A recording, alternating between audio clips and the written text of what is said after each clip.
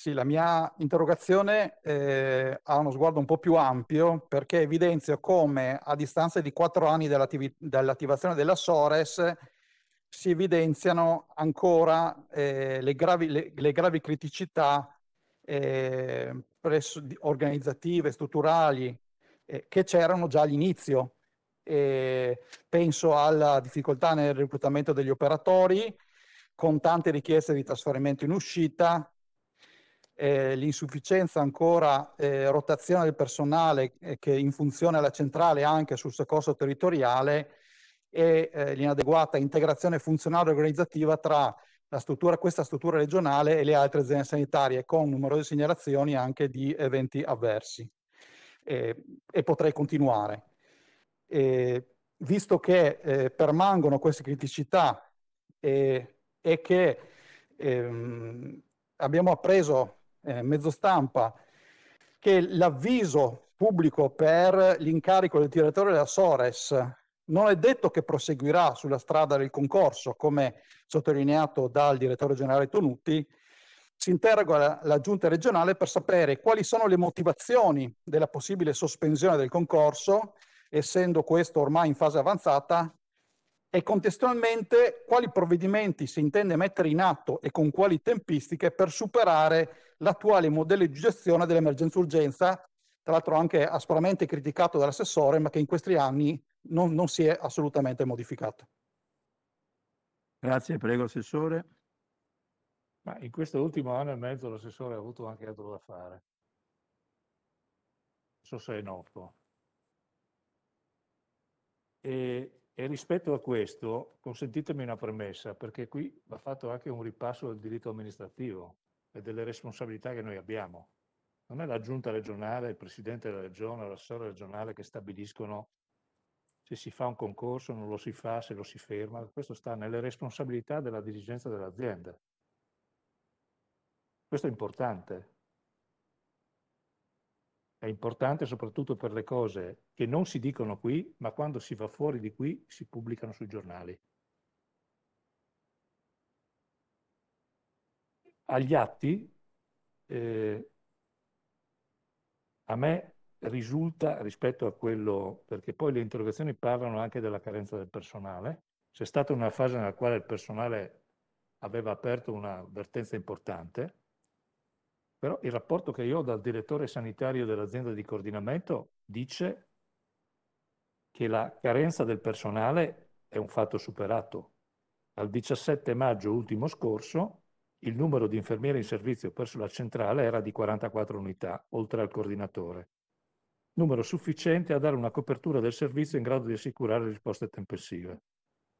Considerato che al 31 dicembre 2019 erano presenti 38 unità, il saldo entrate e uscite è di più 6, 5 mobilità in uscita e 11 in entrata.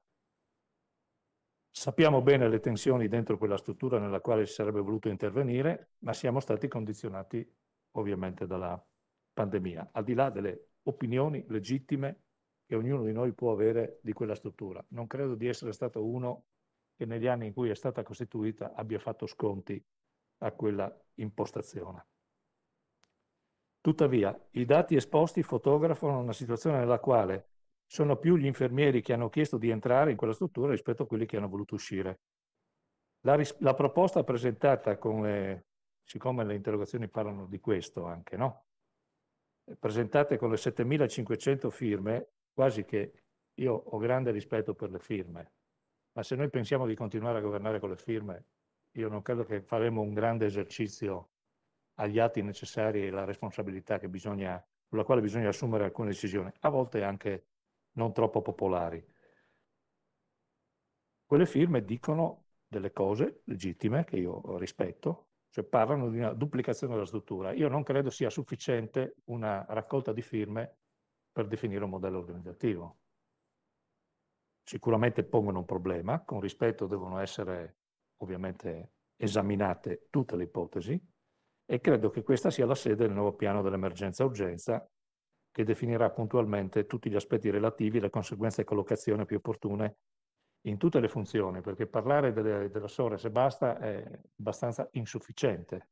La Sores è un anello di una catena che deve tenere conto, e probabilmente questo è uno dei limiti dell'attuale modello, rispetto anche a come è nato e come si è sviluppato, che riguarda il tema della emergenza extraospedaliera, compreso l'elisoccorso e il soccorso territoriale, con l'obiettivo di dotarsi di una modalità di coinvolgimento del personale, questo è l'altro grande tema che va risolto, che favorisca l'interscambio operativo e che eviti la settorializzazione fra la centrale operativa, l'elisoccorso e il soccorso territoriale, l'altro grande elemento strutturale del operativo che a mio giudizio deve essere rivisto.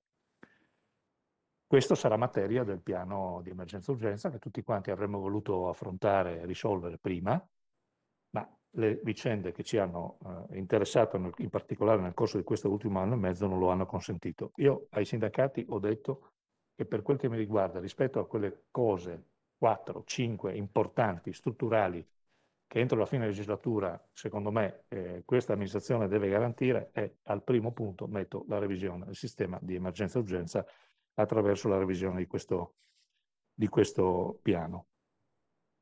Quindi, eh, relativamente invece alla copertura del direttore della struttura, e qui rinnovo il ripasso delle responsabilità, della separazione delle responsabilità relativamente agli aspetti che tutti ben conosciamo e che abbiamo ascoltato. L'azienda di coordinamento ha avviato una procedura concorsale che è in corso, non è sospesa e va altresì chiarito che nell'autonomia delle responsabilità aziendali l'azienda sta anche conducendo delle valutazioni per verificare la copertura dell'incarico anche con modalità di comando di un professionista che presenti i requisiti imposti dalle norme vigenti. Questo sta nell'autonomia dei direttori generali delle aziende, non della giunta regionale. Nel caso tale soluzione andasse in porto, con provvedimenti adottati entro la fine di maggio, il bando potrebbe essere ritirato o sospeso, come è possibile fare in base alle norme. Ho letto qualche autorevole esponente del Partito Democratico che non sta in quest'aula e che spesso si avventura in giudizi che tra l'altro dovrebbe anche avere una solida eh, capacità di eh, giurisprudenza, fare un po' di confusione rispetto a, a, come si governano i concorsi. Però questo è, è il momento che ci è dato di vivere con le sue difficoltà. Quindi le valutazioni eh, vanno nelle autonomie delle responsabilità aziendali e quindi nel caso questo lo ritenesse il direttore generale di quell'azienda, il direttore sanitario di quell'azienda, stabilirando in che, mezzi, in che modi eh, procedere. L'attuale direttore uscirà dal servizio in data 1 agosto e le procedure in corso, comunque, qualsiasi esse siano, lo ripeto, nelle autonomie delle aziende, assicureranno continuità nell'attribuzione della responsabilità della struttura. In conclusione, rispetto a concetti che ho ascoltato, i quali riguarderebbero influenze, trasparenze, fino a blocchi o prosecuzioni di concorsi, credo di aver detto già tutto quello che penso.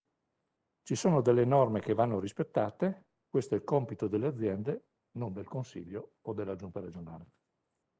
Eh, Assessore, è vero che nell'ultimo anno lei e tutte il servizio sanitario regionale sono state impegnate soprattutto sul tema della, della pandemia, quindi questo ha bloccato tutta una serie di atti, tra cui anche l'emanazione del piano dell'emergenza urgenza.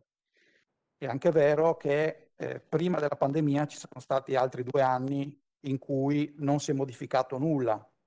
Anzi, se, vuoi, se proprio dobbiamo dirla tutta, è venuto dalla Lombardia un direttore che avrebbe, direttore generale Zavattaro, che avrebbe dovuto modificare completamente il modello, ma come è venuto così se n'è andato, come altri direttori da lei e dal presidente no nominati, senza modificare e senza risolvere le criticità annose che si trascinano da anni. E questo ci preoccupa, perché mancano due anni alla fine della legislatura e molti problemi sono ancora lì. E questo è il primo punto. Il quindi aspettiamo di vedere questo nuovo modello che, cerca, eh, che renda più efficace l'intervento dell'emergenza territoriale. Ne abbiamo sentito parlare, ma al momento non vi è traccia ufficiale. Il secondo tema, che è quello del direttore della SORE, sono d'accordo con lei, la politica deve starne fuori, perché è responsabilità dell'azienda. Però visto che c'è un procedimento, un avviso pubblico già in fase avanzata con la Commissione, sembra un po' strano bloccare questo avviso pubblico per pensare a un comando. E quindi il sospetto che magari qualche candidato non sia gradito, no? e, e, cioè, viene. Io capisco che è responsabilità de, dell'azienda sanitaria, però, eh, come dice lei, la politica deve, deve starne fuori. E bisogna capire perché. Intanto siamo in ritardo perché, come diceva lei, col primo di agosto l'attuale direttore della Soros va in pensione e sarebbe stato utile avere un passaggio di consegne e, e, quindi fare il concorso prima, come sollecitato tra l'altro dall'attuale di, direttore della Sores. Dall'altra parte, questo nuovo alto profilo che dovrebbe essere nominato a governare la Sores non si, non si capisce eh, perché in qualche maniera non può essere eh, trovato tra le quattro persone che hanno con esperienza che hanno presentato i propri curriculum. Grazie. Per cui il dubbio resta. Naturalmente Grazie. lei mi dirà che sicuramente verrà nominato una persona di alto profilo. Io spero che questo profilo non sia un profilo, un basso profilo, un profilo yes man che ascolti solo la politica. Grazie. Grazie. Grazie.